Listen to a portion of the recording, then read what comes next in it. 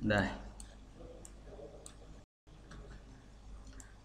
Cái đầu tiên mà em muốn nói với mọi người á, đầu tiên thì hôm nay thì chúng ta sẽ trình bày những vấn đề sau. Thứ nhất là target là gì này? Làm sao tìm được target này? Các bước tìm target này? Quy tắc trong tìm kiếm target này? Target có quan trọng hay không? Các công cụ hỗ trợ? Và chúng ta có mini game, và chúng ta có cả quà tặng nữa. Thì ờ, đầu tiên á, là chúng ta sẽ bàn cái vấn đề là target là gì thì chúng ta mới đi làm target được. Còn nếu không thì khó. Thì cái target này thì ở đây thì em định nghĩa một cách ngắn gọn thôi. Cái này là định nghĩa của em nhé nên là nó sẽ ngắn gọn. Target tên Facebook với cái quan điểm của em thì à, đơn giản đó là mang cái sản phẩm mà mọi người đang bán á, mà đến gần những cái đối tượng có khả năng mua cao nhất ở trên Facebook đúng không? À, mọi người kiểm tra lại nhé bởi vì là là là ai ai cũng thấy hết đó ok thì uh, thông thường thì uh, mọi người làm target á, thì mọi người làm như thế nào? Nếu mà theo quan điểm của mọi người.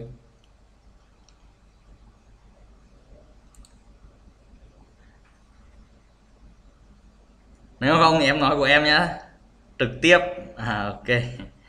Tức là vẫn có người thấy người không nếu như ai không thấy là mọi người kiểm tra lại mạng của mình nhé em em không không ấy được.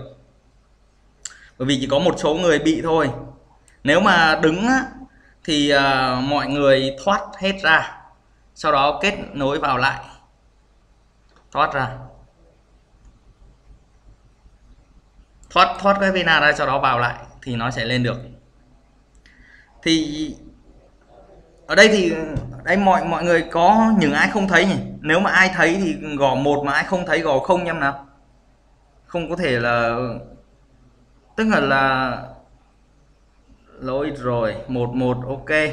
Thì những ai mà không á, thì uh, mọi người tắt quét video ra vào lại nhá. Nếu mà không thì mọi người chịu khó xem lại video. Tức là có người một người không. Ở đây thì em đang sử dụng cái hệ thống webinar của GetJetSpawn Thôi được nếu mà ai không có thì video đã chạy đã nói cái đã, đã làm gì đâu mà chạy video anh.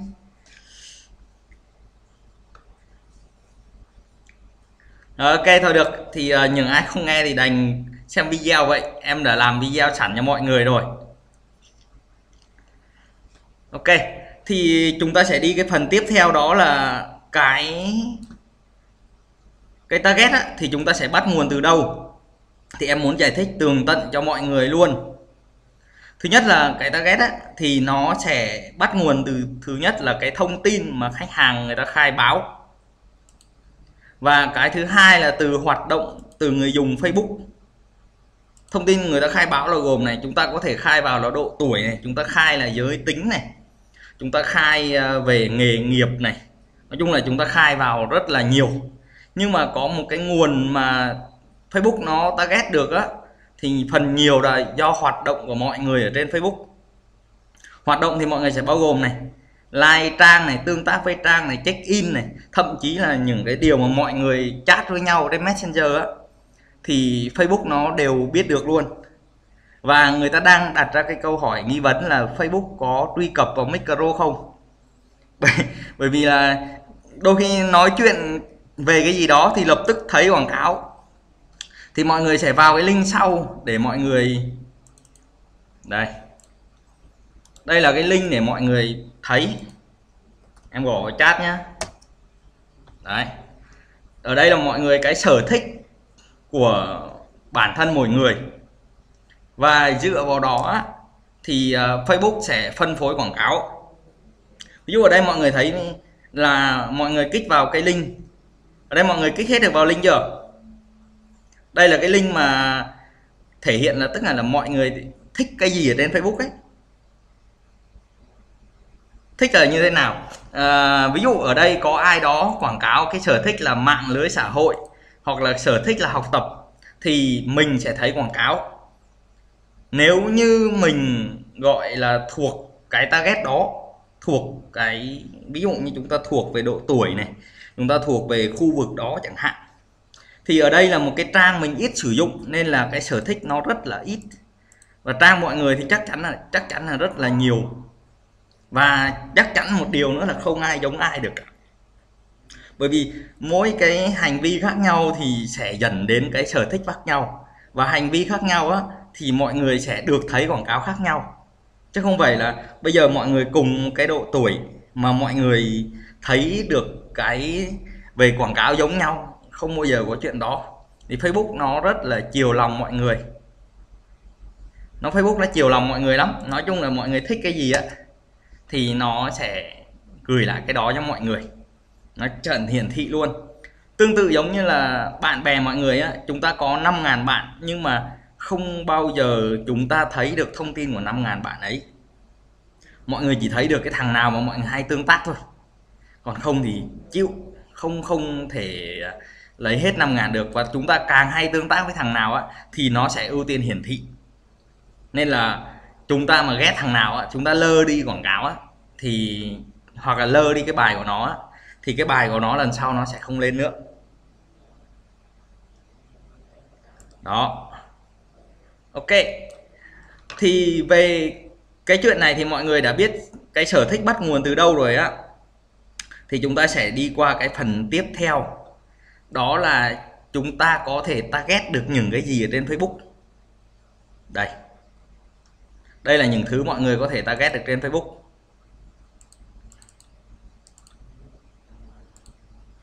Đây. Ở đây không có, đây. Đây thì cái bài này, trước kia em đã viết một bài này rồi.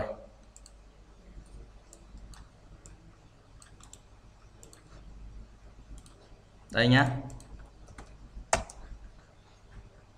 Đây là những cái gì mà mọi người có thể target được trên Facebook. Đấy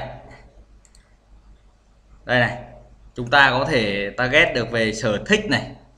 Chúng ta target được về à, nhân khẩu học này về hành vi này về có thường xuyên đi du lịch hay không hay là à, hình đây đây gửi hình cho mọi người nhá.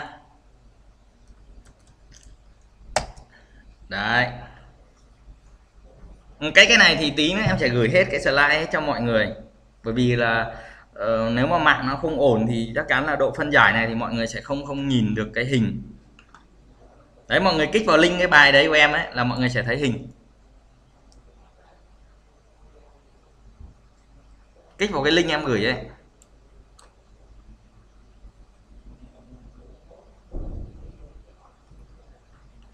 Chưa ok. Khi nào mà mọi người thấy hình rồi thì gì mọi người cứ gõ một hết cho em nhé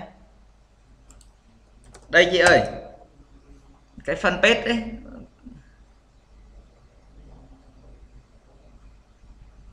Rồi. Thì đây là những cái thứ mà mọi người có thể target được. Nào là mua sắm thời trang, nói chung là rất là nhiều, rất là nhiều. Nhân khẩu học thì có này, học vấn này, thế hệ này, gia đình này, sự kiện này, con mới sinh như thế nào chúng ta có hết, cha mẹ, mối quan hệ, công việc cái này thì mọi người cứ yên tâm là chúng ta sẽ giải quyết từ từ từ từ, từng cái một. Ở đây là em muốn mọi người thấy một cái nhìn nó toàn cảnh thôi, để chúng ta đi vào học cho nó dễ thôi. Đó. Không thấy hình nhá. Có cái link đấy mọi người.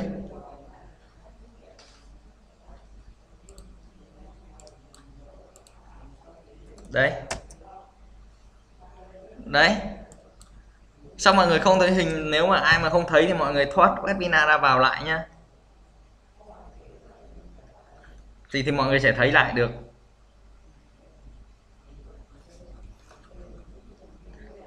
Thì đây là những cái target cơ bản ở trong Facebook thôi. Vẫn không có hình nhá.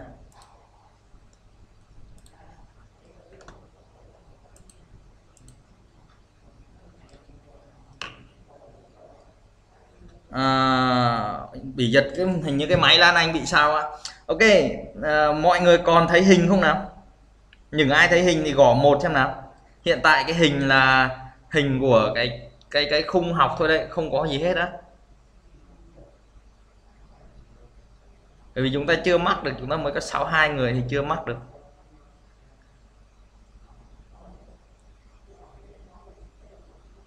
Chết rồi. Rồi chờ một chút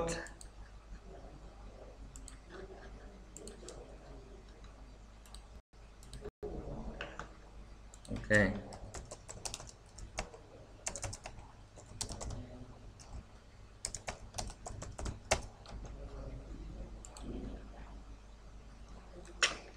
Chết rồi cái này nó không lên được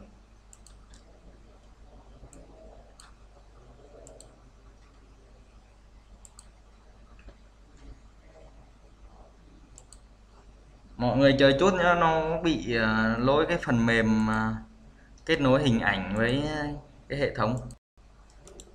Nay mình sợ máy nó yếu mà vẫn cứ bị.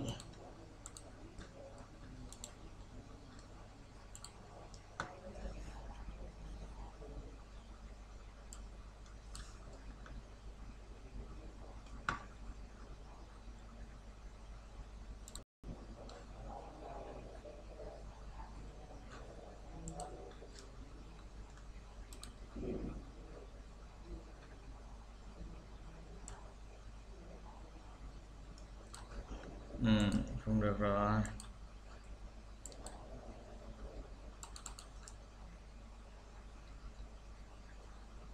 Ừ, mọi người mọi người chờ chút. Mà cái máy bên em nó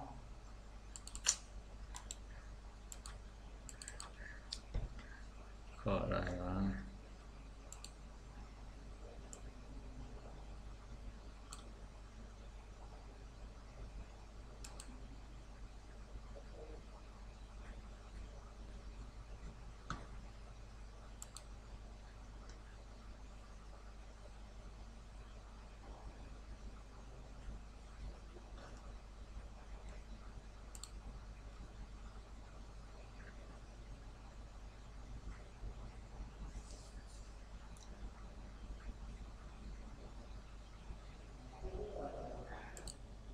đây nhá.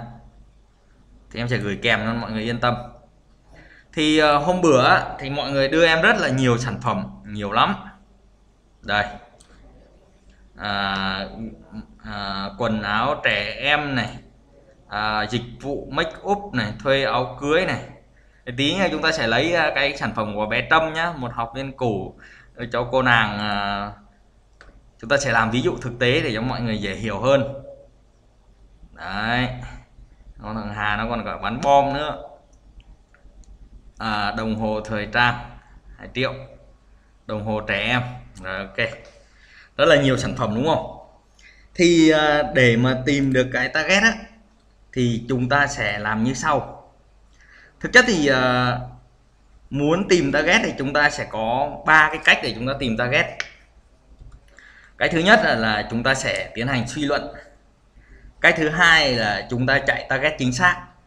Và cách thứ ba là chúng ta sẽ làm target tương tự, tìm khách hàng tương tự. Thì chúng ta sẽ bàn về từng cái thằng này một. Ok. Thì đầu tiên chúng ta sẽ nói cái target theo kiểu suy luận. Đây là cách mà hầu hết mọi người đang làm. Đúng không?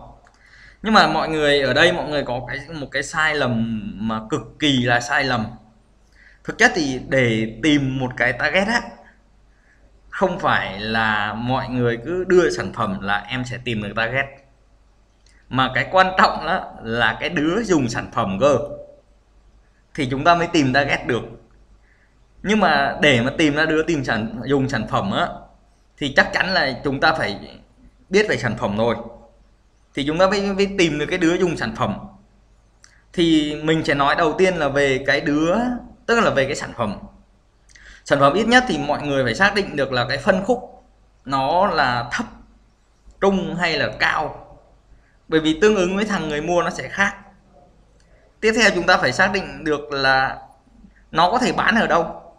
Biết có những cái sản phẩm thì nó bán được ở thành phố, có những sản phẩm nó bán được ở nông thôn, có những sản phẩm thì ở đâu cũng bán được. Và có những sản phẩm chạy chạy một bài là bán được. Nó gọi là sản phẩm săn bắt còn có những sản phẩm mà chạy nuôi dưỡng, ví dụ như bán bất động sản hay là, ví dụ như là học tiếng Anh hay là nó thiên về cái dịch vụ du lịch này nọ chẳng hạn, thì chúng ta phải nuôi dưỡng giường khách hàng. Đó, thì đầu tiên chúng ta phải phân biệt được chuyện đó. Vậy ở đây thì mọi người có phân biệt được là sản phẩm của mình á, là trung cấp, giá thấp hay là cao cấp không? Mọi người comment xem thử là cái sản phẩm của mọi người đang ở cấp độ nào nào.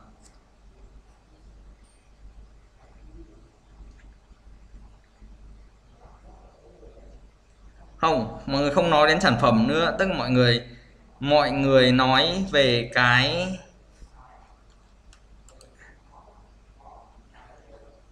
mọi người nói về cái cái phân khúc của mình. Đó không mọi người ở đây chúng ta không nói về sản phẩm nữa. Chúng ta sẽ nói về phân khúc. Chúng ta bởi vì là mỗi cái phân khúc khác nhau á, thì nó sẽ khác nhau. Ví dụ ở đây mình đặt đặt một câu hỏi cho mọi người. Ví dụ ở đây tất cả đều bán mỹ phẩm. Nhưng mà nếu chúng ta bán cho sinh viên á đây là cùng một mỹ phẩm nhá nhưng mà nếu chúng bán bán sinh viên á thì nó thích cái gì? Theo mọi người bán sinh viên thì nó sẽ thích cái gì? Ngon bổ rẻ. Đúng rồi.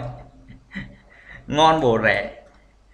Nhưng mà thì tất nhiên là chúng ta sẽ lấy cái điểm rẻ của nó để phân tích, cùng một sản phẩm đó. Nhưng mà nếu chúng ta có định hướng chẳng hạn, chúng ta, bởi vì cái giải sản phẩm dùng nó sẽ rất là rộng mà.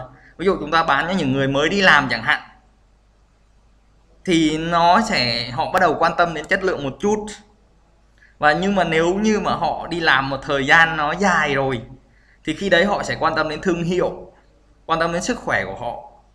Nó sẽ khác. Nên là đầu tiên nhé mọi người nhá chúng ta phải nghiên cứu được về cái sản phẩm này. Và đặc biệt ở đây rất là nhiều người thiếu đó là cái điểm thuyết phục mua hàng á. Rất là, là là mình có cái gì hay để nó mua mình nhưng không phải mua của thằng khác á. Nó như vậy nhiều người không biết là cái điểm thuyết phục nó là cái gì luôn. Hỏi tại sao mà giờ tao nên mua của mày, không mua của thằng khác? Em cũng không biết. Nói rất là chung chung chung chung chung chung. Nói chung là nó không không ổn một tí nào hết. Thì sau khi mà bây giờ chúng ta có sản phẩm hết rồi, thì mọi người lại phải làm được cái việc thứ hai.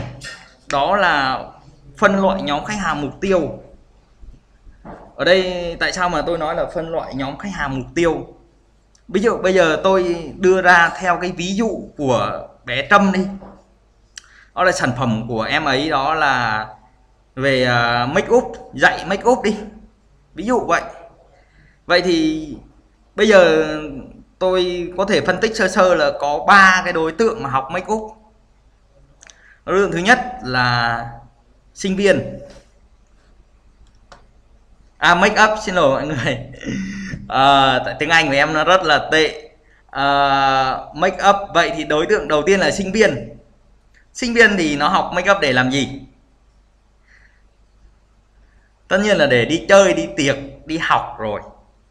Đi học đi học. Nói chung là chủ yếu nó vào cái việc ngày thường. Đấy đúng rồi cua dai. Thì vấn đề của nó là cua dai. Nhưng cái bọn tiếp theo mà học make up á là bọn nào dân văn phòng. Đúng không? Và nó học make up để làm gì? Cua sếp à? Học make up để làm gì? Làm đẹp, đi làm. Nhưng mà nếu như cũng có một đối tượng nữa muốn học make up, đó là những cái người nội trợ, thì họ học make up sẽ là lâu lâu họ phải đi tiệc, đi đám cưới thôi thì chúng ta sẽ thấy là ba cái đối tượng đó thì nó sẽ phân loại ra ba nhóm khách hàng khác nhau. Và chúng ta sẽ chắc chắn là phải có ba cái target khác nhau cho họ. Không thể mà mà target chung chung cho cả ba đối tượng ấy được. Nên là cái việc đầu tiên mà mọi người làm cái target trên Facebook á, đó là phải phân loại được khách hàng. Phân loại ra được nhóm khách hàng và sau khi mà mọi người phân loại là khách hàng á,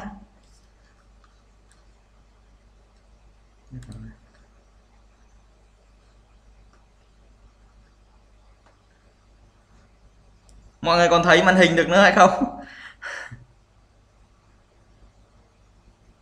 Cái máy của em nó hơi bị lỗi chỗ này.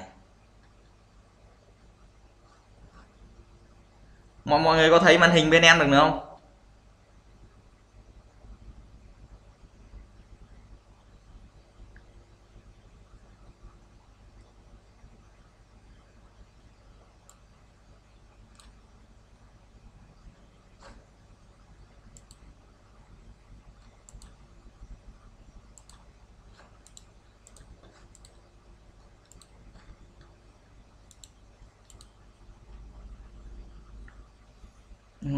Máy ờ, Windows nó bị sao mà.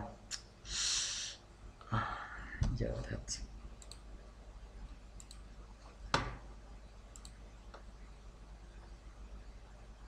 rồi.